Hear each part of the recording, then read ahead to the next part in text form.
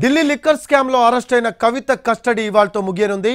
మరి కవిత కస్టడీని పొడిగించమని ఈడీ కోరుతుందా అనే అంశంపై ఉత్కంఠ నెలకొంది. మరోవైపు బెయిల్ విషయంలో ట్రయల్ కోర్టును ఆశ్రయించాల్సిందిగా స్పష్టం చేసింది సుప్రీంకోర్టు ఢిల్లీ మద్యం కేసులో అరెస్ట్ అయిన బీఆర్ఎస్ ఎమ్మెల్సీ కవితను ఆరు రోజులుగా ప్రశ్నిస్తున్నారు ఈడీ అధికారులు. ఇప్పటికే ఆమె నుంచి కీలక సమాచారం రాబట్టారు. కేజ్రీవాల్ రిమాండ్ రిపోర్ట్లో కూడా కవిత పేరును ప్రస్తావించింది ఈడీ. దీనిని బట్టి కేజ్రీవాల్ అరెస్టులో కూడా కవిత ఇచ్చిన సమాచారం కీలకంగా మారినట్టు స్పష్టమవుతోంది. నేటితో కవిత కస్టడీ ముగుస్తుంది. ఇవాళ ఆమెను ఢిల్లీ రౌస్ అవెన్యూ కోర్టులో హాజరుపరచనున్నారు ఈడీ అధికారులు. కస్టడీ పొడిగించాలని కోర్టును కోరే అవకాశం ఉంది ED.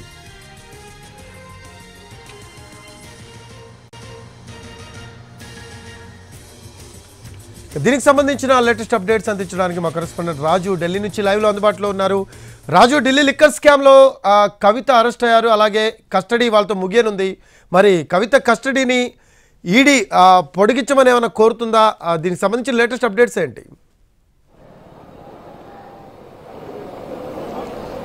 S Rafi Kavitha arrest తర్వాత ఈడీ ఏ విధంగానైతే రౌజేవిన్ కోర్టులో తమకు కస్టడీకి కావాలని కోరింది రౌజేవిన్ కోర్టులో ఎప్పుడైతే ఇక్కడ ప్రవేశపెట్టిన తర్వాత.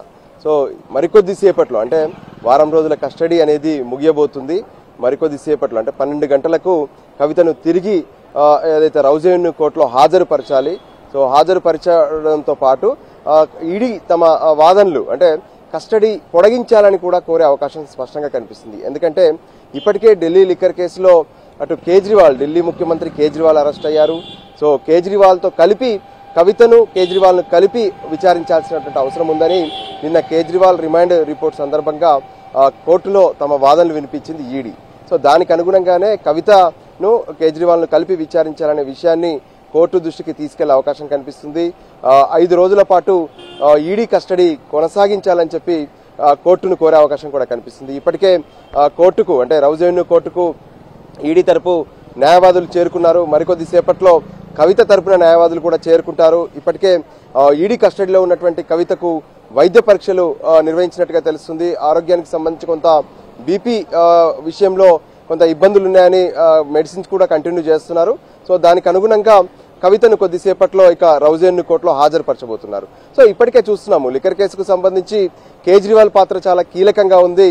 అతనే కింగ్ పిన్ అని చెప్పి కూడా నిన్న స్పష్టం చేశారు. అయితే కవిత ఏదైతే ఈ కస్టడీలో ఉన్నటువంటి సమయంలో ఇచ్చినటువంటి వాంగ్మూలంలో కూడా కేజ్రీవాల్ ప్రస్తావన ఉంది. కేజ్రీవాల్ గురించి చెప్పారన్న విషయాన్ని స్పష్టం చేశారు. సో దానికి అనుగుణంగానే కవిత కస్టడీని కొనసాగించాలని చెప్పి ఈడీ పిటిషన్ వేయబోతుంది. అయితే కవిత నిన్న సుప్రీంకోర్టులో జరిగినటువంటి ఏదైతే బెయిల్ పిటిషన్ కావచ్చు అరెస్టు ఛాలెంజ్ చేసినటువంటి విషయంలో బెయిల్కు సంబంధించి ట్రయల్ కోర్టుకే వెళ్ళాలని చెప్పి సుప్రీంకోర్టు ధర్మాసనం ఆదేశించింది. దానికి అనుగుణంగా ఈరోజు రౌజెవెన్యూ కోర్టులో కవిత తరపు న్యాయవాదులు బెయిల్ పిటిషన్ కూడా వేయబోతున్నారు.